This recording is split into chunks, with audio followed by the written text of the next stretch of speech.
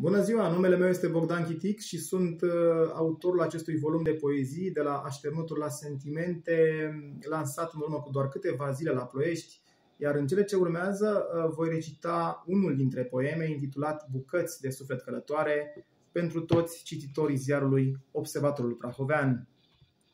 M-am ales cu o amintire, dar știind că vreau mai mult, umbra nopții la plecare m-a găsit, lacrimi vărsând, că erau de fericire sau că ar fi desenat tristețea, doar inima și ei citire puteau oferi justețea. N-am stat să o întreb ce are, pentru că bătea în al meu piept, chiar dacă în avion, la urcare, mă încerca un soi de regret.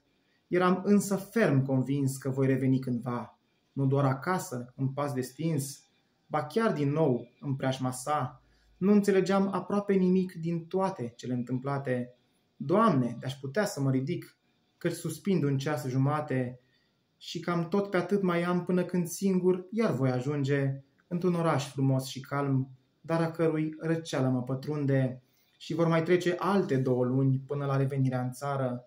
Am nevoie de un compas, de un vin și poate chiar și de o țigară. Voi încerca să scurtez distanța așa cum știu, pot și cred, doar pentru a-mi ușura soarta în așteptarea unui semn. N-a fost chip să închid un ochi la revenire în apartamentul gol. De vină să fi fost căldura? Sau episodul de la semafor? Sunt întrebări fără răspuns pe care, oricât mi le-aș pune, nu vor aduce nimic bun, ba chiar vor genera cutume. Cor veni și vremuri bune, că va răsări și soarele?